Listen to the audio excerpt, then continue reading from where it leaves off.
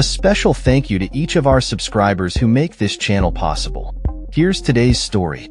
On Monday, Israel's President Isaac Herzog commenced worldwide commemorations marking the first anniversary of the devastating Hamas attack on October 7, 2023.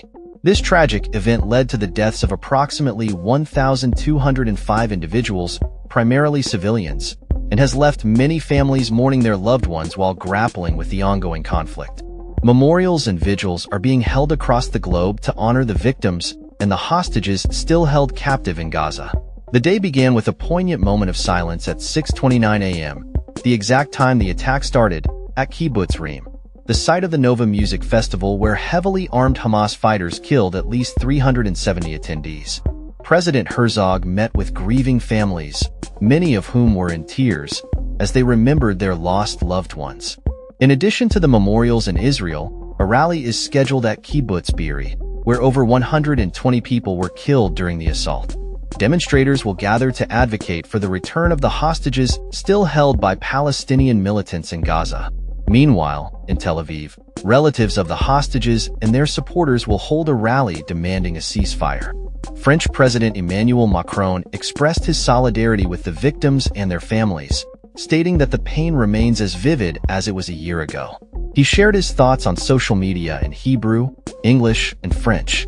Internationally, Prime Minister Anthony Albanese of Australia is expected to attend an event in Melbourne, and a candlelight vigil is planned in Sydney to show support for Palestinians after a year marked by conflict. In New Delhi, students are organizing a rally to call for a free Palestine. In the United States, the White House will hold a vigil for the Israeli hostages, while former President Donald Trump plans to commemorate the anniversary at a remembrance event in Miami organized by Jewish community leaders. The first vigils and memorials began a day earlier on Sunday in cities around the world, including Tel Aviv, London, Paris, and Berlin. Tens of thousands of protesters took to the streets over the weekend, demanding a ceasefire in Gaza and Lebanon. In Tel Aviv, friends and relatives of the victims from the Nova Dance Festival held a candlelight vigil, lighting candles and embracing one another in remembrance. In London, thousands gathered in Hyde Park, waving Israeli flags and holding placards with the faces of the hostages, lighting candles in their honor. Mandy Damari, whose daughter Emily was taken hostage, spoke emotionally about the pain of separation, stating, One year has passed and she is still in hell.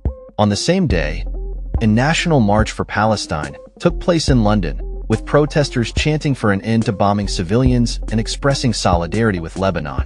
Berlin also saw demonstrations, with a pro-Israel rally near the Brandenburg Gate drawing around 500 attendees, while over a thousand marched in support of Palestinians chanting, Gaza, you are not alone. Commemorations were held in Paris, where thousands gathered to remember the victims, and in Geneva, where 300 people paid tribute in front of the UN offices. The impact of the October 7th attack has been profound, leading to an Israeli military offensive in Gaza that has resulted in the deaths of at least 41,870 individuals, most of whom are civilians, according to the Gaza Health Ministry. British Prime Minister Keir Starmer emphasized the need to stand with the Jewish community and called for a ceasefire in Gaza and Lebanon. In Morocco, tens of thousands of protesters gathered in Rabat, demanding the severance of diplomatic ties with Israel. The Vatican marked the anniversary by taking up a collection for Gaza and publishing a letter from Pope Francis expressing solidarity with the people of Gaza. He emphasized the need for dialogue and peace, highlighting the suffering of those displaced by violence.